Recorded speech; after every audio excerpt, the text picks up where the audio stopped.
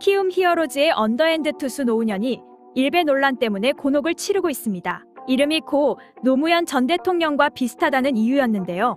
일베 커뮤니티에선 고 노무현 전 대통령을 비하하기 위해 합성물을 쏟아내왔으며 노운현 선수가 프로 입단하자 노무현 전 대통령이 투신한 부엉이 바위를 가리켜 부엉이 커브 노무현 운지라는 조롱글들이 야구판에도 넘쳐나게 되었습니다.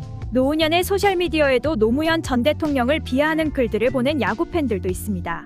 문제는 노운현 선수가 등판할 때마다 조롱 글들이 쏟아지고 있지만 노운현과 키움 구단은 아직 대응하지 않겠다고 밝혔습니다.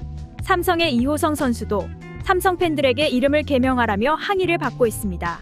해태에서 활약했던 이호성 선수와 이름이 같다는 이유였는데요. 이호성은 과거 일가족을 살해하고 투신 자살했었습니다. 이에 야구 팬들의 반응도 엇갈리고 있는데요. 본인도 개명 안 한다는데 왜 삼자가 개명하라고 하는가? 신정환도 있는데 적당히 들 해라. 야구판에 언제부터 일베들이 판치게 되었나? 갑질하는 삼성 팬들 때문에 야구 수준이 더 떨어진다며 설전을 이어가고 있습니다.